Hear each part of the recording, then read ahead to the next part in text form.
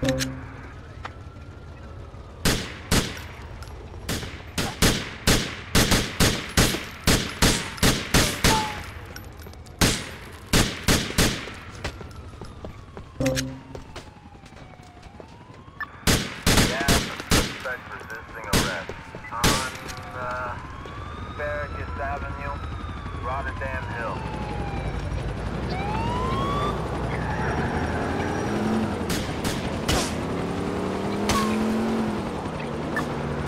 intersection eastbound